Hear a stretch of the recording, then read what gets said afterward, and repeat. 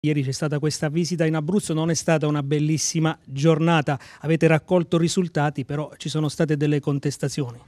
Ma io credo che la stampa farebbe bene anche a porsi il tema di ciò che si è detto e di quanto si è detto e la qualità anche degli impegni presi. Io mi riporto a casa come sistema regione la disponibilità del Presidente Renzi a generare una roadmap, un'agenda per quanto riguarda i problemi dell'Abruzzo nel quadro dei problemi del Meridione.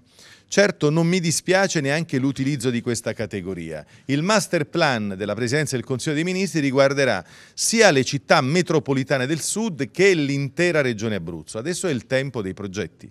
L'ultima Presidente c'è stata una battuta che non è piaciuta del Premier Renzi sui tifosi del Teramo in un momento non facile per la società biancorossa. No, lui ha rilevato eh, su alcune scritte anche la segnalazione del problema della, tra virgolette, declassifica. Su questo Renzi ha usato una battuta da sportivo qual è, ma io voglio per esempio dare una mano concreta nel rispetto delle procedure affinché le ragioni della comunità sportiva vengano rispettate. È stata una bella giornata per ciò che D'Alfonso è riuscito a incassare per l'Abruzzo e per l'Aquila.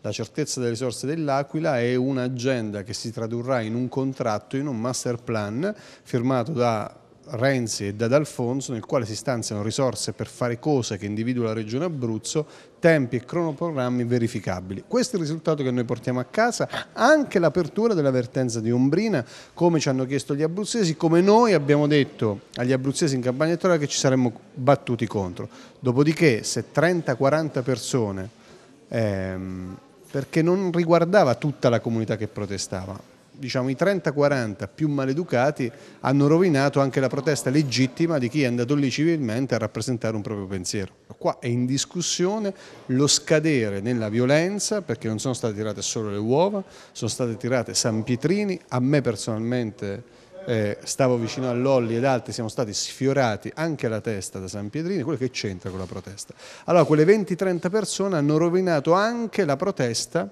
e chi protesta però deve pensarla prima la cosa, cioè deve sapere che in mezzo a quella gente, se loro non sono capaci di governarla, poi succedono quelle cose.